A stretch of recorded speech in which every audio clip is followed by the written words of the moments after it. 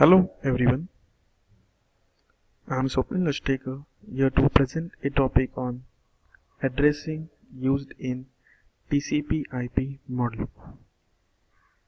Before starting with the actual addressing used in TCP IP model, let's do a revision of a OSI model.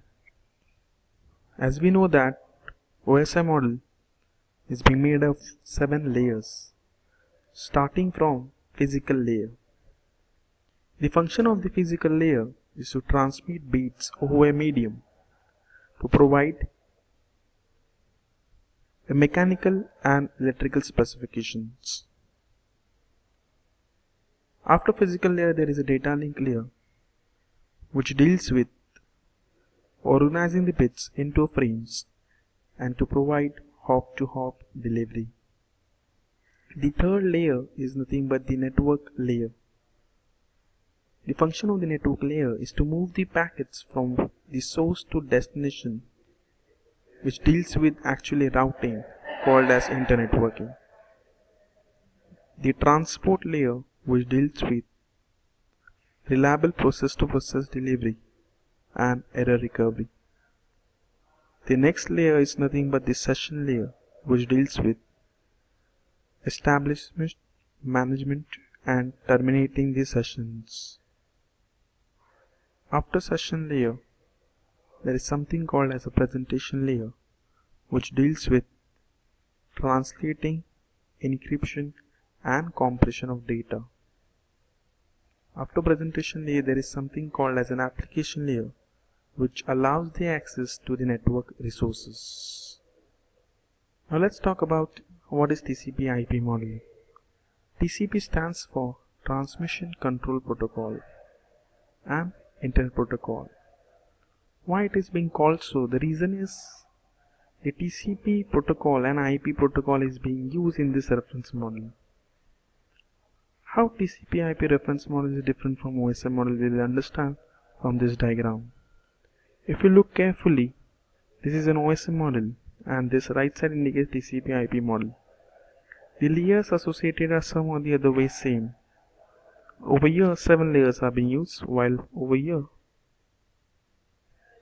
5 layers are being used.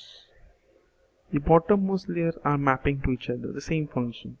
But if you look carefully at the uppermost layer, the session, presentation and application layer is being mapped into a application layer. So this is TCP IP protocol suite. Now let's understand what are the addresses associated with each layer.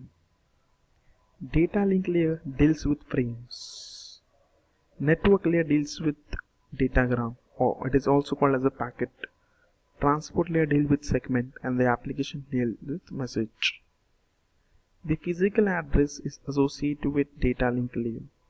The logical address is associated with network layer. While the port address is associated with transport layer. Let's first talk about the physical address. The physical address also known as link address or a MAC address is the address of a node as defined by its LAN or WAN network. It is included in the frame used by the data link layer. Ethernet uses 6 byte which is 48 bit physical address that is imprinted on an NIC card that is network interface card. So here there is an example of physical address which is of 48 bits. Next is the logical address. Logical address are necessary for universal communication that are independent of physical networks. Physical address are not adequate in inter-network environment. Logical address in the internet is currently a 32 watt address that can uniquely define as a host connected to the internet. What is important thing to understand is the physical address will change from hop to hop that is from one device to another. But the logical address will remain the same. Hence there is a need of a logical address. The example may be IP address which may be of 32 bit for IPv4 and 128 bit for IPv6. Next is nothing but the port address. Today computers are the devices, devices that can multiple process at a time. The end objective of IP is process communication with another process. For this process to receive data simultaneously, we need a method called a different processes. In other words, they need the addresses. In TCP IP architecture, the label assigned to a process is called as a port address. Here is an example of port address which is of 16 bit. So here we discuss about different addresses such as physical, logical and port addresses associated with each layer. Thank you.